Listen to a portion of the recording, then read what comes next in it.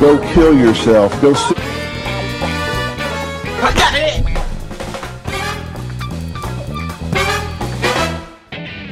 the black people.